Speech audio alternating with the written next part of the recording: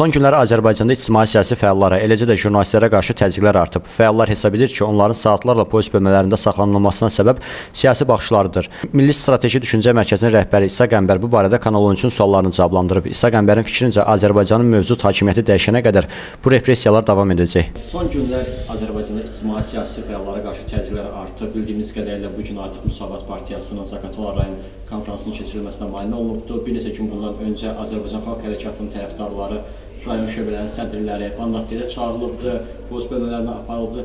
Ümumiyyətlə Azərbaycanda ictimai-siyasi fəallara qarşı edilən bu təzyiqlər nə vaxta qədər davam edəcək sizcə? Nə qədər ki bu rejim var və e, fəal insanlara qarşı, mübariz insanlara qarşı, müxalifət təşkilatlarına qarşı bu repressiyalarda davam edəcək. İndi də uydurublar ki, güya 29-unda burada Avropa Avropa Futbol Federasiyasının finalı keçirilir. UEFA-nın finalı keçiriləcək və buna görə e, bir həftə ərzində şəhərdə gərginlik yaratmışdılar, həbslər həyata keçirirdilər. Artıq bu həbslər, bu təhdidlər, repressiyalar Zaqatalaya qədər gedib çıxıbdı. Mən bilən axı bu e, final oyunu, UEFA-nın final oyunu Bakıda keçirilir, Zaqatalada keçirilmir.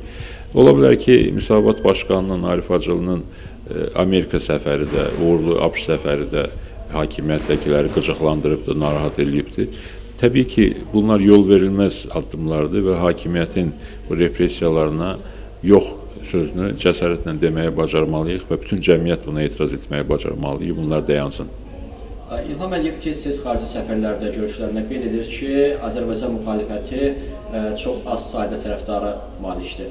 Bəs həqiqətənmi Azərbaycan hakimiyyəti bu az sayda müxalifət tərəfdarından qorxur? Əgər müxalifət bu qədər az sayılıdsa, hakimiyyət niyə qorxur ki bizdən? Niyə bu həbsləri həyata keçirir ki? Niyə e, Zaqatalada, başqa bölgələrdə müsavatın, digər siyasi təşkilatların, qurumların toplantılarının keçirilməsinin qarşısını alır? Nəhayətində niyə müxalifət təmsilçilərinə, liderlərinə e, televiziya efirindən çıxış etmə imkanı yaradılmır? Sadəcə seçki keçsinlər, bir düzəməli seçki keçsinlər. Orada da sübut eləsinlər ki, müxalifət zəif imiş, bunlar güclüymüş. Keçirtmirlər. Çünki rejim təmsilçiləri hamıdan yaxşı bilirlər ki, Azərbaycanda çox güclü müxalifət var.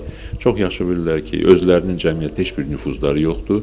Çox gözəl bilirlər ki, ilk normal seçkidə onlar seçkini uduzacaqlar. Xalq demokratik düşərgəyə, demokratik düşərgəyə müsavat və digər bu tipli siyasi qüvvələrinə üstünlük verəcək. Bunu bilirlər.